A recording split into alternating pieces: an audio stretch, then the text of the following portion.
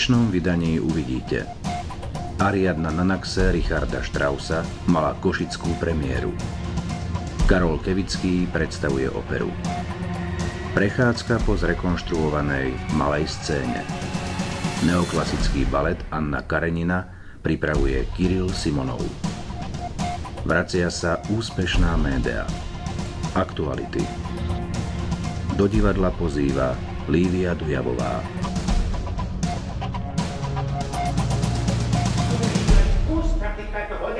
Die Ehre haben, etwas zu gestatten, geschweige anzuordnen, Herr. Es ist wieder die Fehlerbildung, die Opera Seria Ariadne wurde eigens für diese festliche Veranstaltung komponiert. piatok 14. marca zaznela prvýkrát v Košiciach opera Richarda Strausa Ariadna na Naxe. V hlavnej postave Ariadny sa predstavila aj austrálska sopranistka Louise Hudson, ktorá práve v Košiciach začínala svoju európsku kariéru. Je to úplne iné ako pred desiatimi rokmi, keď som sem prišla prvýkrát. Zdá sa to až neuveriteľné, že uplynulo už 10 rokov, čo mi práve Košické divadlo dalo môj prvý angažmán v Európe. Hoci kedy prídem do Košíc, je to vždy dobrý pocit a cítim sa byť vítaná. Ale netýka sa to len Košíc, ale všeobecne celého Slovenska, keďže spievam aj v Banskej Bystrici či Bratislave. Slováci sú veľmi priateľskí a cítim sa ako doma v Austrálii. Je to iné ako napríklad v Nemecku, Rakúsku a podobných krajinách. Preto mám Košice veľmi rada. She's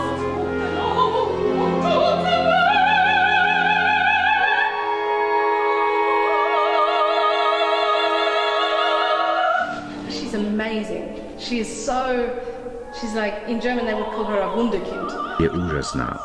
V Nemčine by som ju nazvala Wunderkind. Má toľko energie a skúšky s ňou nás veľmi bavia. Každý si to užíva. Nie sú žiadne konflikty a nervy. Myslím, že práve Linda prináša túto energiu.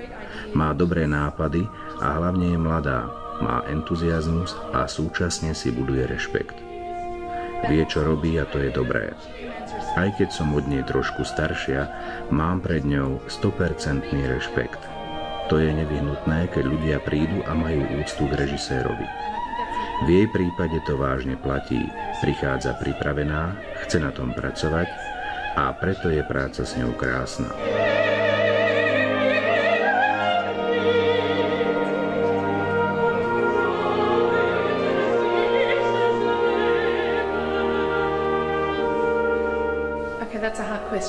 Because um, although I speak German, it's very poetic German and, and to je veľmi ťažká otázka. Opera je v Nemčine, vo veľmi poetickej Nemčine a na začiatku som nie všetkému veľmi rozumela. Ale Linda ako režisérka nám to uľahčila. Je to prekrásny príbeh lásky, ale aj smutný. Graduje vo chvíli, keď sa hlavná postava druhýkrát zamiluje. Jednoducho nádherné. Vždy sa snažím vytvoriť si spojenie s postavou, charakterom, prostredím. Zároveň je táto opera v mnohom rôznorodá. Hudba je niekedy veľmi smutná až dramatická, v iných častiach za zľahká. Práca na tejto opere mi dala veľmi veľa skúseností. Najťažšie pre mňa bolo zžiť sa s charakterom postavy. And for me, the difficulty that I'm having, if you're interested, Vždy spievam silné ženy ako Abigail, Lady Macbeth, Turandot a Ariadna je veľmi citlivá. Môže sa každú chvíľu zrútiť, chce zomrieť, pretože jej umrela láska. A potom sa znova zamiluje. Je to veľmi náročné, ale veľmi ma to baví a myslím, že si publikum príde na svoje. I think the public will enjoy it too.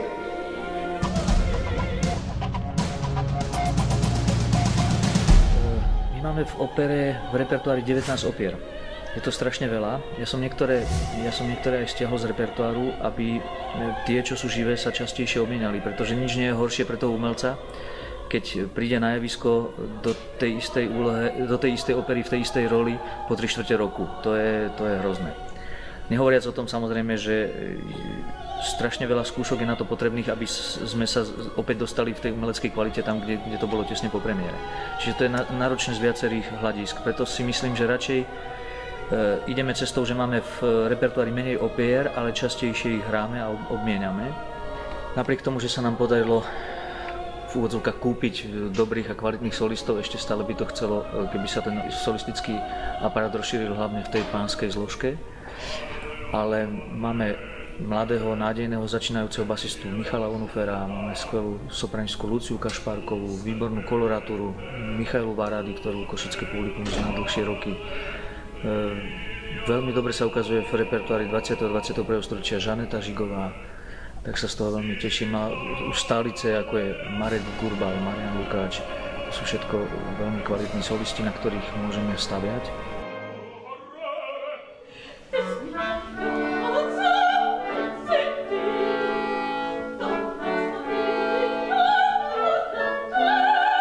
To repertoárové zloženie urobiť veľmi pestré. Samozrejme, aby tam boli e, tituly, ktoré sú komické. S, s tými dramatickými nemáme až taký problém, lebo každá opera končí takmer smrťou, takže tam sa toho nebojím. Ale snažíme sa, aby sme mali aj e, zastúpenú operetu, pretože v Košiciach je veľmi silná maďarská menšina a v Košiciach má opereta veľmi silnú tradíciu, tak by bol hriech to nedávať, samozrejme. Ale keď ste hovorili, že čo by som, ešte čo by bola pre mňa výzva ako pre šéf a pre operný súbor, to je nájsť šéf dirigenta, pretože si myslím, že to je momentálne to najdôležitejšie, čo moja priorita, ktorú ja mám. Nájsť šéf dirigenta, ktorý by sa tomuto súboru venoval cieľene, e, ktorý by rozvíjal tie schopnosti, ktoré sú, lebo ten potenciál je to nesmierny. Potvrdzujú mi to aj hostia, ktorí sem prídu zvonka, aj kritici, ktorí sem prišli napríklad z Čiech. E, mali sme tu rakúskych umelcov, všetci mi to vlastne potvrdili, len my sme trošku takí príliš skromní teraz som nabral aj ja takú väčšiu, väčšiu odvahu to povedať nahlas, že skutočne potrebujeme e, tu umelca, dirigenta, ktorý vlastne tento potenciál využije a ešte viac, viac vlastne rozšíri ten, ten, ten obzor aj nás, ale aj pre divákov. Takže to je moja taká najväčšia priorita.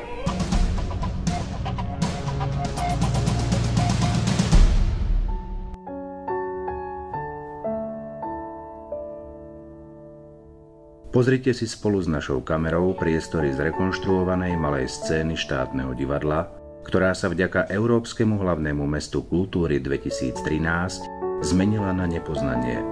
Po 30 rokoch existencie v provizóriu sa podarilo vytvoriť úplne nový divadelný priestor, ktorý od septembra minulého roka ponúka nové divadelné zážitky.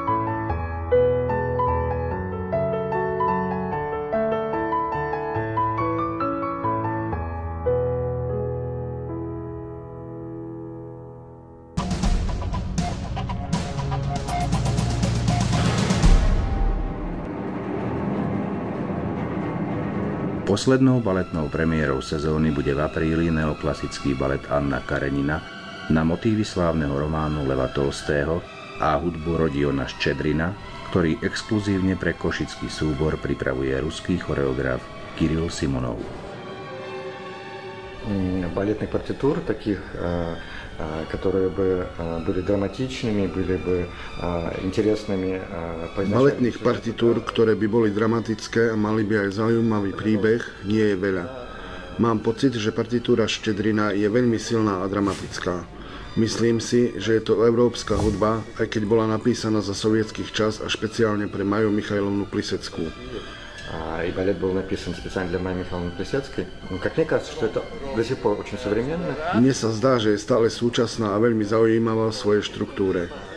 Písal to pre svoju ženu, slávnu balerínu a najvýznamnejšou úlohou je rola Anny. Mne sa páči aj to, že v partitúre je množstvo momentov v jej vnútorných stavov a celá táto konštrukcia sa podobá na sny Anny. Ее внутренних состояний. То есть вся музыка и вся вот эта конструкция, она похожа на некоторые, как будто это сны Анны, как будто она смотрит на всю свою вот эту жизнь, всю, на всю свою вот эту страшную историю со стороны. Ako by sa ona pozerala na svoj život a svoj strašný príbeh z vonkajšej strany.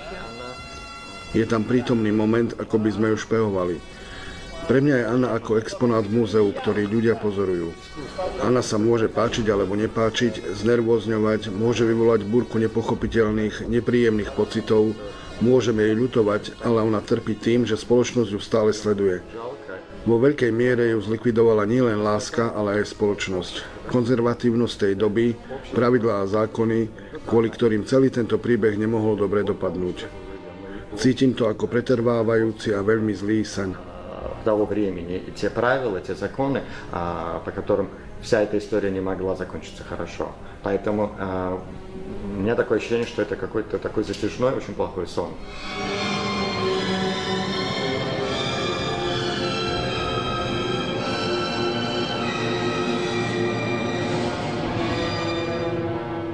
Если вы хотите э, узнать про эту историю, нужно прочитать ее. А, и все, больше не надо ничего делать. А балет это немножко, в данном случае немножко другая вещь. Это а, взгляд а, там, режиссера. Keď chcete spoznať príbeh, treba si ho prečítať, ale balet to je trochu iná vec.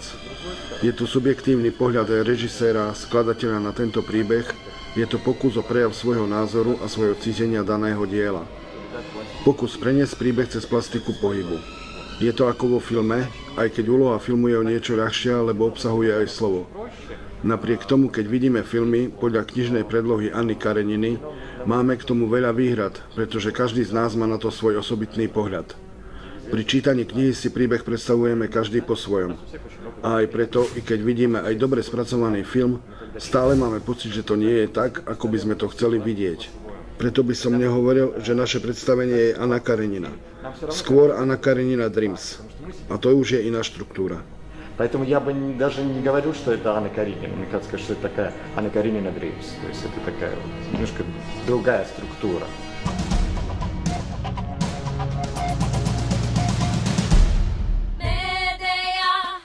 Na malú scénu sa vracia Euripidová Médea, antická dráma v réžii Michala Vajdičku s Danou Košickou v hlavnej úlohe. Čo slúbila na veky vernosť. To je jednak Euripides je veľký básnik, ktorý sa dá hovoriť aj dnes, ako by povedal veriť. lebo tie texty sú moderné, podľa mňa nič, ne, netrčí z nich ani žiadna archaičnosť, ani nič, čo by zaváňalo nejako, samozrejme je to mýtická postava, ale príbeh a jazyk a text, ktorý tam je a emócie, ktoré tam sú, sú absolútne nadčasové, ktoré aj dnes si myslím, že chytia diváka, chytili, že to hrali niekoľko rokov. Média je zaujímavá tým, že to je vlastne príbeh ženy, ktorá je ochotná urobiť až brutálny čin kvôli obrovskej láske. A myslím si, že človek niekedy urobí strašné veci, o ktorých si možno netuší, že je toho schopný kvôli, kvôli niečomu, kvôli nejakým veľkým emóciám. Možno aj netuší, čo v ňom je, čo všetko sa v ňom skrýva. A až keď sa ocitne v takej situácii, tak, eh, tak to urobí. A preto nikoho ani neodsudzujem, ani nekritizujem za niečo, čo urobí, pretože si myslím, že v každom drieme aj dobro, aj zlo, len je otázka príležitosti a motivácia toho, čo vás k tomu vyprovokuje. Takže to je tá média, ktorá si myslím, že, to, že je v tom záujme. Tak ale s Michalom Vajtičkom my vlastne pracujeme od jeho narodenia. Odkedy on začal režirovať, tak vlastne ako keby tak narodil, mám pocit a mám, myslím si, že trošku máme tak nejak zásluhu na tom, že Michal Vajdička ako režisér teda tak ďalej sa profiloval, ako sa profiloval tým, že pracoval uh, s nami a že pracoval teda na predstaveniach, ktoré uh, vyšli tak, ako vyšli. Takže um, ja si s ním absolútne rozumiem a ja som sa tešila na túto prácu a bola, um, proste to je moja krvná skupina Michal Vajdička, takže čokoľvek by som s ním robila, tak myslím si, že mm, by sme si nejak sadli a on ma absolútne pozná ako herečku a ja mu dôverujem ako režisérovi, takže všetko, čo mi povie, mu slepo verím. Zatiaľ ma nesklamal.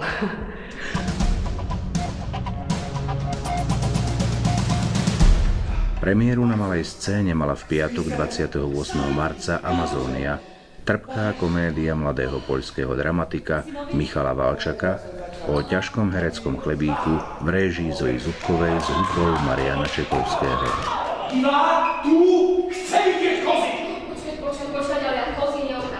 Valčak sebe vlastnou uštipačnosťou rieši väčšinu dilemu hercov, ktorí si vyberajú medzi veľkým umením a ľahšou komerciou.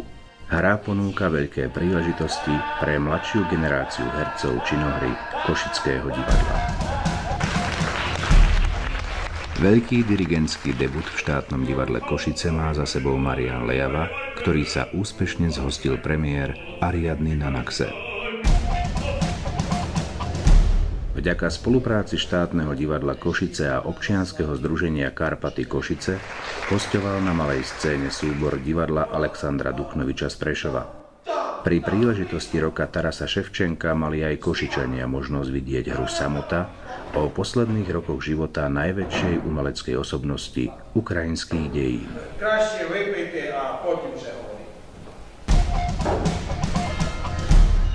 Študenti prvého a tretieho ročníka tanečného odboru konzervatória na Timonovej ulici tri dni pred premiérou opery Ariadna na Naxe obliekli pomocou stoviek metrov špagátu historickú divadelnú budovu do zaujímavej spleti povestnej Ariadninej nite. Zaujímavosti zo zákulisia príprav premiéry, ale aj zo samotného vzniku opery Richarda Straussa Ariadna Nanaxe, či hudobné ukážky v podaní solistiek Louis Hudson a Mariany Hochelovej prinieslo pravidelné predpremiérové stretnutie klubu priateľov opery.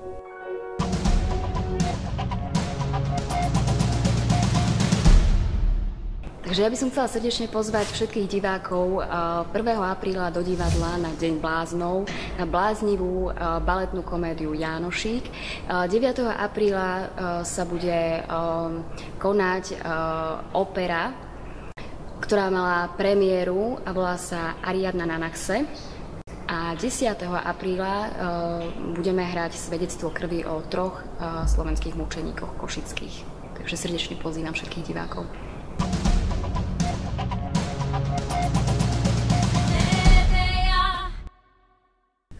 Využite jedinečnú príležitosť vyhrať vstupenky na predstavenia štátneho divadla Košice.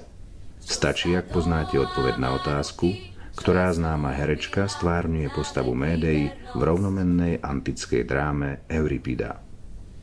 Svoje odpovede zasielajte na adresu divadlo tv zavináč sdke.sk do 4. apríla. Výhercom súťaže z relácie vysielanej 16. marca y a Martin Hinjosh.